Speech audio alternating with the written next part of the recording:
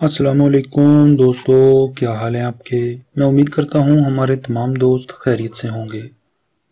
तो दोस्तों, चलते हैं आज के रिश्ते की तरफ़। इससे पहले हमारी छोटी सी गुजारिश है कि हमारे चैनल को सब्सक्राइब करें और बेल के आइकॉन को भी दबा दिया करें, ताकि हमारी आने वाली हर नई से नई वीडियो का नोटिफिकेशन आप तक आसानी से पहुँच जाए।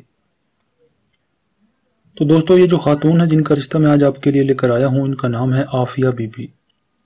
आफिया जो हैं इनकी जो उम्र है वो छियालीस साल है, यानी कि फोर्टी सिक्स ईयर्स क्योंकि ये एक तलाक याफ्ता खातून है।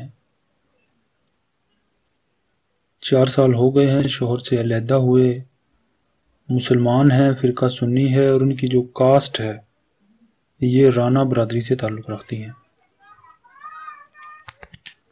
आफिया जो हैं, इनके दो बच्चे हैं, एक बेटा और एक बेटी। दोनों इनके साथ ही रहते हैं, मैट्रिक तालीम है इनकी। जॉब वगैरह तो नहीं करती, अपने वालदेन के साथ, इनके अपने वालदेन के घर पे रहती हैं। इस वक्त खारियाँ सिटी में, खारियाँ जो कि सुबह पंजाब का सिटी है, वहाँ पर ये रहती हैं। अच्छी फैमिली से हैं, काफ़ी सुलझे हुए लोग हैं। पाँच फुट और तीन इंच इनकी हाइट है।